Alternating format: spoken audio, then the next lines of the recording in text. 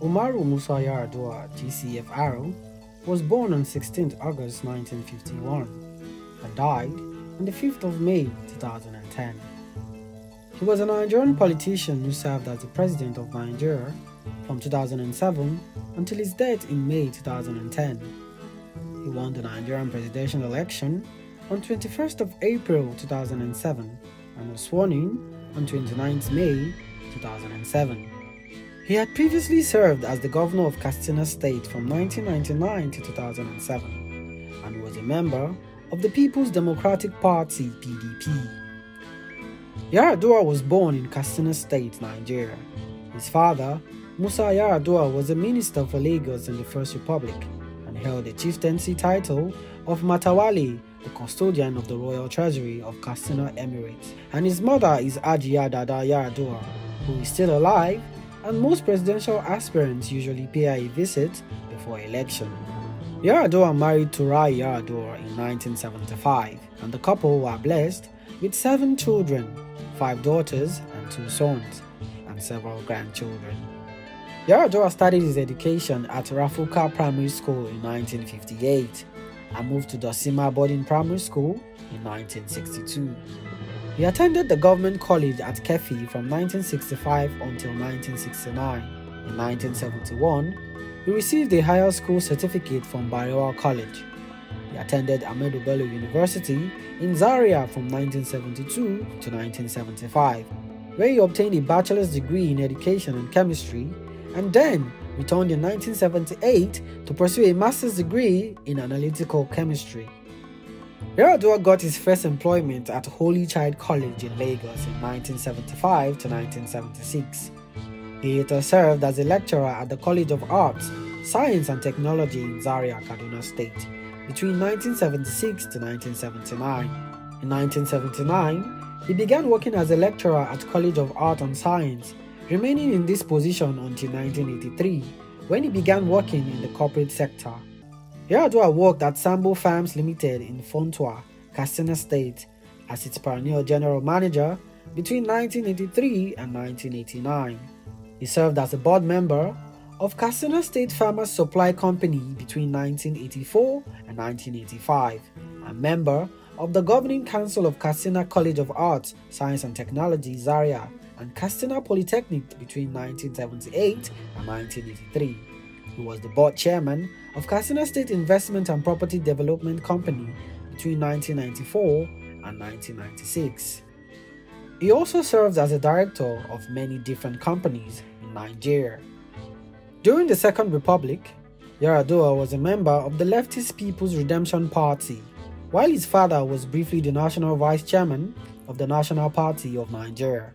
During the transition program of General Ibrahim Babangida to the Third Republic, Yar'Adua was one of the founding members of the People's Front of Nigeria, with other members such as Atiku Abubakar, Baba Gana Kingibe, Bola Tinubu, Sabo Bakin Zuwo, Wada Abubakar, Abdullahi Aliyu, Abubakar Koko, and Rabiu Musa Kwankwaso, a political association under the leadership of his elder brother, the late Major General Shehu Musa Yar'Adua.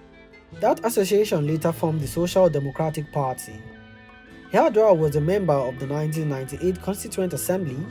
He was a member of the People's National Caucus and the Nigerian Social Democratic Party, State Secretary in Katsina contested for governorship position in 1991 election but lost to Saidu Barda, the candidate of the National Republican Convention.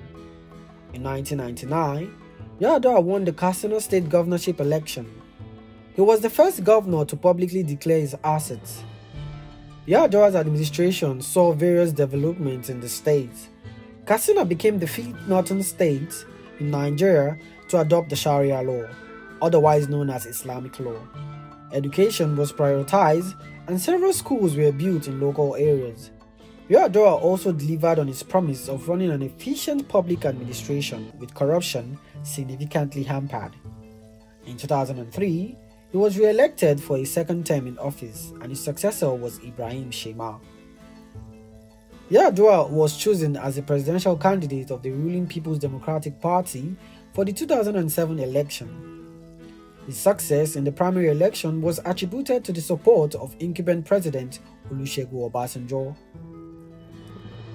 Shortly after his nomination, Yar'Adua chose Goodluck Ebele Jonathan, governor of Bayelsa State, as his vice presidential candidate. Another view regarding the support he received from President Olusegun Obasanjo is that he was one of few serving governors with a spotless record, devoid of any suspicion or charges of corruption. He also belonged to the People's Democratic Movement, a powerful political bloc founded by his late brother, Shehu Musa Yar'Adua, who was Obasanjo's second in command during this military rule. During his tenure as president, Yar'Adua had tried to improve foreign relations with other countries to also help with social justice and national security. While talking with President George Bush, he had explained that he would help fight corruption within Nigeria and help grow the economy. Under Yar'Adua's regime, Nigeria's oil-rich Niger Delta became increasingly militarized and insecure. Scores of civilians were murdered by armed gangs and security forces in 2007, and the violence further impeded the impoverished region's development. Much of the insecurity that plagued the Niger Delta was directly related to the failures of governance at all levels.